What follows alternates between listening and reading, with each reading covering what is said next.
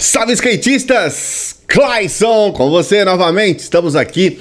As últimas postagens do Rafinha Bastos sobre o Nando Moura, elas estão impagáveis. Eu cheguei inclusive a colocar na comunidade aqui do canal uma dessas, é, um desses vídeos, o primeiro vídeo que o Rafinha Bastos fez, falando sobre essa coisa do mestre do capitalismo.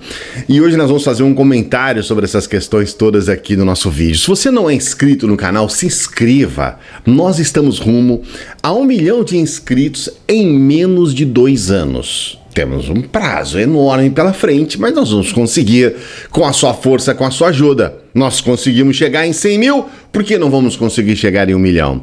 Se você já é inscrito, ative o sininho. Não se esqueça de dar o joinha aqui no vídeo, tá? Dê o seu joinha no nosso vídeo. Qual que é a primeira questão que a gente observa sobre essa história toda do Nando Moura e o tal do mestre do capitalismo, né? Mestres do capitalismo. De fato, é uma jogada de marketing muito interessante. Ele se coloca como um professor do capitalismo e, claro, é uma forma que ele tem de cutucar indiretamente, né, com vara curta, aqueles que são progressistas e que de alguma forma combatem o capitalismo.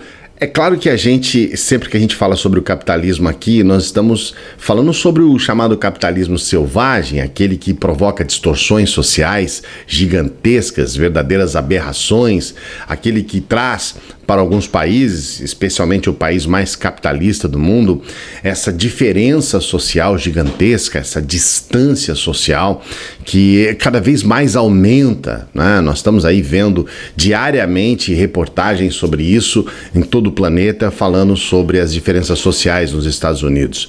E claro, a gente combate isso porque nós sabemos essas, que essas distorções prejudicam a maioria das pessoas. Né? Nós temos lá aquele, aquela concentração de renda em meia dúzia e todos os outros se ferrando, mas se ferrando muito, né? a ponto de uma pequena parcela de pessoas é, deter aquilo que seria correspondente a milhões e milhões de seres humanos no planeta. Então é óbvio que nós vamos combater isso, porque isso está muito claro, se não estiver claro para você a gente quer que fique claro que isso é uma distorção que leva o mundo para problemas graves e num futuro muito próximo muito provavelmente nós vamos ter realmente situações extremas provocadas pelo capitalismo, coisa que hoje já está acontecendo, mas que no futuro próximo as pessoas vão começar a entender um pouco mais sobre tudo isso, vão começar a entender quais são realmente os problemas do chamado capitalismo selvagem e do, do neoliberalismo, que é outro grande problema que nós estamos vivendo, o, o, Deus dinheiro acima de tudo e de todos. Então, hoje, é, essa crítica ao capitalismo, ela, de certa forma, ela tem os seus exageros, tem aqueles que são realmente também fanáticos na esquerda. É, quando a gente fala aqui, dá a entender que a esquerda é maculada, né? Ela é imaculada, é, todo mundo é santo na esquerda. Não, não, não, não. Não. Opa! Opa! Uh -uh. Não, ninguém está falando aqui que a esquerda é imaculada, que não há safados na esquerda, ninguém fala isso. Ninguém está dizendo isso. Muito pelo contrário, é, este canal, que é um canal que tem uma vertente obviamente progressista, que, pô, salve progressistas, é o, é o, é o nosso bordão aqui.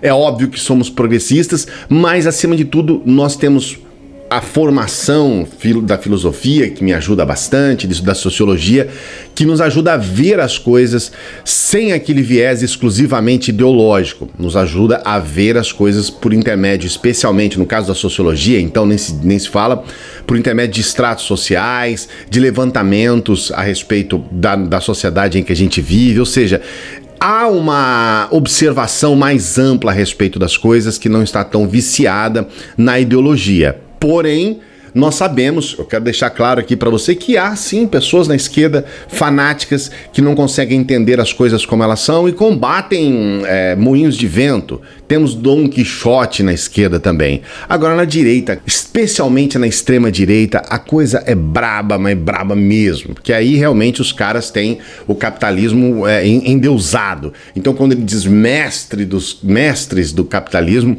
realmente as pessoas têm assim um pensamento, opa, estamos defendendo a direita. Então existe um viés até certo ponto ideológico nessa coisa de mestres do capitalismo, mas ele de certa forma tenta colocar isso de uma forma prática. Então nós temos aqui um curso que nos fala a respeito de como você vai cuidar das suas finanças, como você vai melhorar e tudo mais. Na ocasião em que ele lançou esse vídeo, nós tivemos alguns canais, salvo engano, o Normose foi um dos canais que colocou uma resposta muito é, contundente a respeito, mas este, este canal aqui mesmo, vários outros canais falaram a respeito do curso e, ao que me parece, o Nando Moura vai processar muitos desses canais, o PC Siqueira é um deles, que criticaram o Mestres do capitalismo como se fosse algo que não deveria ser criticado, que está acima de qualquer crítica, o que eu acho um tremendo um erro. Mas agora, especificamente agora, o Rafinha Bastos vem trazendo questões que eu considero muito interessantes para essa reflexão. Ou seja, a primeira coisa que ele fala a respeito desse fato do Nando Moura ter dois carros na garagem, e aí ele até viu que tinha mais um, são três carros. Então ele falou: olha, você tem um Chevette que você usa para andar e coloca esses dois carros parados aí na garagem para nada. E aquilo realmente, as, as palavras do Rafinha, cara, foram assim muito, mas muito boas, porque demonstra claramente que essa questão toda é somente realmente um marketing mesmo e que na prática nós estamos falando de uma pessoa que é limitada ao extremo até nessa questão. Que, que sentido faz você ter dois opalão velho na garagem? Eu vou dizer uma coisa para você, cara. Eu, eu realmente eu não gosto de carros sedã, né? Tipo, eu considero o Corolla um dos melhores carros do mundo, mas eu não teria um Corolla. É um carro comprido, então não me julgue, porque eu realmente eu não sou o cara do carro. Mas por outro lado, cara, ter um opalão velho na garagem, pra quê? Então, qual é a conclusão dessa história? A gente está vendo realmente alguns canais e algumas pessoas que trabalham com opinião na internet vendendo uma falsa ideia para as pessoas de que se você tiver um carro na garagem, um opalão, você é alguém melhor, sabe, do que o outro, ou, ou se você realmente tiver dinheiro para gastar com porcaria, você vai ser um cara melhor, sabe? É, aquela coisa de, de avaliar a pessoa pelo, pelo que ela tem, né? não, não, não pelo que ela é.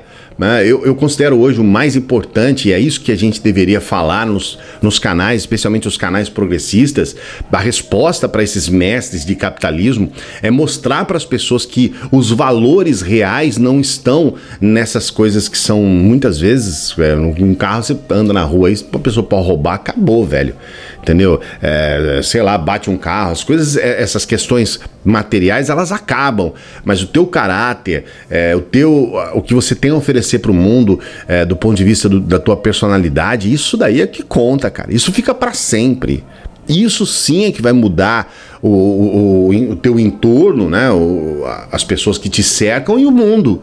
É, são seus valores pessoais. E a gente percebe que quando as coisas resvalam nesse lado, é um desastre, né? Você vê, por exemplo, o mestre do capitalismo descendo pau em todo mundo, é, é, é uma pessoa que briga de graça com as pessoas, compra briga com as pessoas em termos de caráter, em termos do que ele tem para oferecer para o mundo, aí realmente a pobreza é muito grande. Aí realmente é um sujeito é, praticamente um mendigo social. Então, o meu alerta para você, não se deixa levar por quem tem Opala velho na garagem, não, cara. Não se deixa levar por isso, não.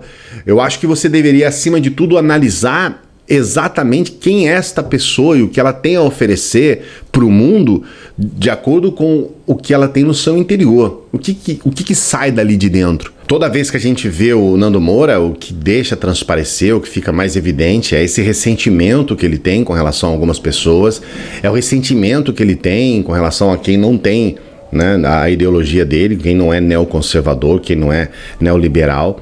E todas as, vezes, todas as vezes que a gente se depara com esses vídeos, a gente percebe o quão a pessoa é vazia de interior, quanto é pobre interiormente falando, paupérrimo do ponto de vista do seu interior. E o que tem a oferecer para a humanidade, o que tem a oferecer para o país é apenas o ressentimento, o ódio, é apenas o reacionarismo barato, em cima de uma bandeira que não se sustenta, né, cara? O capitalismo, é, se você vê as diferenças sociais, se você vê realmente o ponto em que o capitalismo se encontra hoje, é, a gente percebe que não tem como defender, né, rapaz? Se você, meu amigo, minha amiga, se você defende o capitalismo tal qual ele é hoje, você precisa aprender a estudar um pouco mais e ver realmente o que está acontecendo. Não dá para dizer que o capitalismo é a solução. É claro que o, no, o, nosso mundo hoje é regido pelo capitalismo, ninguém aqui é louco de simplesmente dizer que vamos acabar com isso da noite para o dia, que o capitalismo vai deixar de existir. O capitalismo hoje ele rege, é, pelo menos, sei lá, cara, 90%, não tem esse cálculo, mas ele rege a maioria das relações dos países no mundo, né? É, eu, eu acredito que realmente a grande parte, e nós não vamos aqui simplesmente dizer, ah, não, não, não queremos mais a partir de amanhã. Isso não existe, nós sabemos disso. O pezinho está no chão aqui, ó, tá bem no chão mesmo. Pode ficar tranquilo em relação a isso. Mas por outro lado, a gente vê alguém defendendo essas pataquadas todas. A gente vê alguém colocando como solução para os problemas simplesmente você ser um mestre do capitalismo para que você possa ter um Opala velho na garagem. Isso é tão ridículo, tão estúpido, tão sem sentido que só nos resta ficar vendo o Rafinha Bastos para a gente poder dar muita, mas muita risada. Parabéns, Rafinha, pelo que você tem feito, porque você tem uma, uma projeção grande, você tem uma visibilidade muito grande, e é importante que as pessoas vejam o quão é ridículo, as pessoas têm que ver isso. É importante que as pessoas vejam isso. É importante ver o quanto é ridículo você defender o indefensável e você querer se colocar acima de alguém ou querer ter alguma autoridade sobre alguma coisa somente porque você tem dois carros na garagem. Isso é o fim isso é o fim. E você, o que, que você pensa a respeito disso? O que, que você acha a respeito dessas pessoas que tentam de alguma forma se colocar numa posição superior apenas porque têm posses ou porque têm um, um ou dois carros? O que, que você acha a respeito disso? Escreva aqui no comentário. Eu leio todos os comentários dos vídeos, tá bom? E não se esqueça, a gente tem vídeo quase todos os dias aqui. E esse vídeo é um vídeo separado especialmente do YouTube para você, tá bom? Dê o um joinha no vídeo, se inscreva no canal se você não é inscrito e ative o sininho. Precisamos do sininho também aqui. Grande abraço.